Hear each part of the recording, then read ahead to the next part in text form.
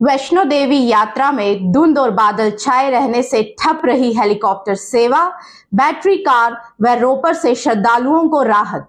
ज़िंदगी बचाने के लिए ड्रोन एक से दूसरे अस्पताल पहुँचा रहे खून, अबान ने दिया नया आविष्कार। और राष्ट्रीय फुटबॉल शिविर के लिए श्रीनगर तैयार, सैफ अंडर 16 में भाग लेने वाली टीम करेगी तैयारी।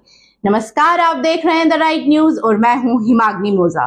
इससे पहले की खबरें विस्तार से पढ़ी जाए। जल्दी से कीजिए हमारा चैनल सब्सक्राइब ताकि ऐसे ही विशेष खबरों के साथ आप अपडेटेड रह सके।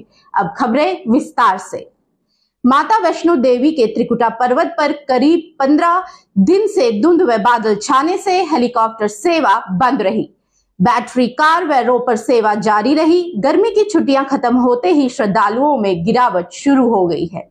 जानकारी के अनुसार श्रद्धालुओं में गिरावट से संगत आराम से माँ के दर्शन कर रही है।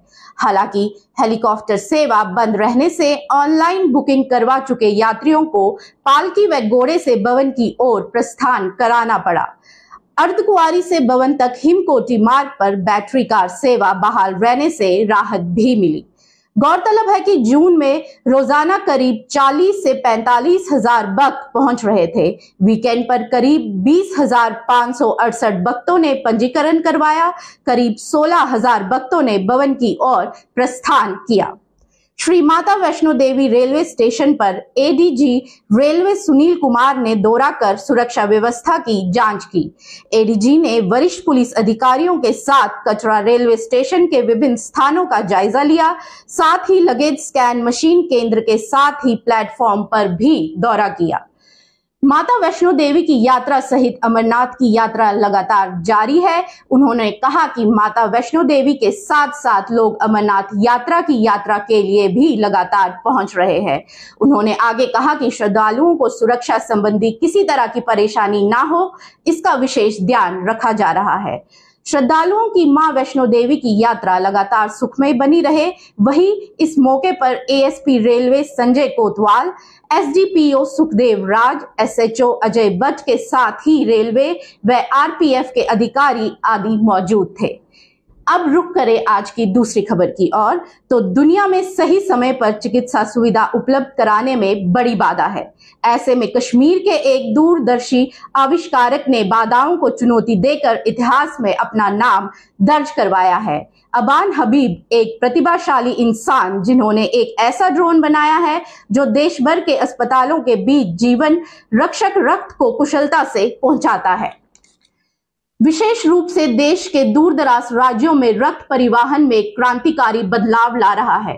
कई वर्षों के शोध के बाद अबान ने एक ऐसा आविष्कार किया है जिसमें अनगिनत और आपदाओं से ग्रस्त क्षेत्रों में स्वास्थ्य देखभाल की पहुँच में सुधार करने की क्षमता है।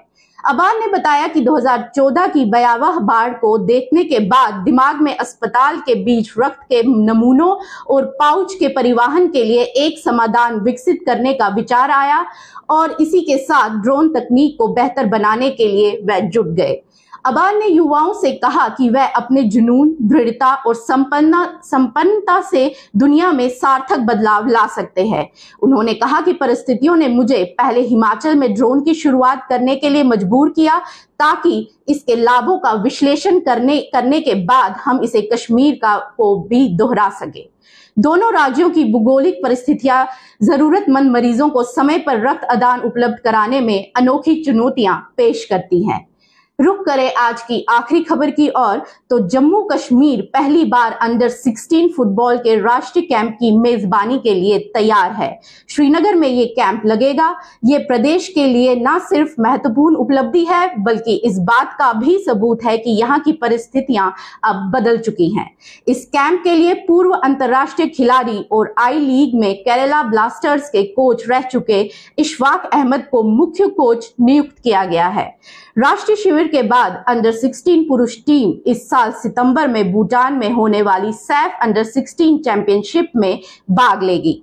जम्मू कश्मीर के उपराज्यपाल मनोज सिन्हा के सलाहकार राजीव राय भटनागर ने बताया कि ये अपनी तरह का पहला राष्ट्रीय शिविर है। जम्मू कश्मीर के खेलों के इतिहास में एक नया चरण स्थापित करेगा। उन्होंने आगे कहा कि पिछले कुछ वर्षों में सरकार के ईमानदार प्रयासों से पूरे जम्मू कश्मीर में खेल के बुनियादी ढांचे को बढ़ाया गया है। पूर्व अंतर्राष्ट्रीय जम्मू कश्मीर फुटबॉल और एआईएफएफ की तकनीकी समिति के सदस्य अरुण मल्होत्रा ने कहा कि जम्मू कश्मीर सरकार के समर्थन से जम्मू कश्मीर फुटबॉल देश में खेल की प्रगति में योगदान दे रहा है। गौरतलब है कि राष्ट्रीय फुटबॉल शिविर पहली बार आयोजित किया जा रहा है। श्रीनगर और भूटान के बीच मौसम की स्थिति में समानता ने भी राष्ट्रीय शिविर की मेजबानी के लिए जम्मू कश्मीर स्पोर्ट्स काउंसिल के मामले को मज़बूत बना दिया है। ये थी आज की कुछ विशेष खबरें। कल फिर आपके सामने प्रस्तुत होंगे। कल की कुछ विशेष खबरों के साथ तब तक के लिए दीजिए इजाज़त, लाइक कीजिए, सब्सक्राइब कीजिए, कमेंट कीजिए, शेयर कीजिए। बने रहे द राइट न्यूज़ के साथ। नमस्कार।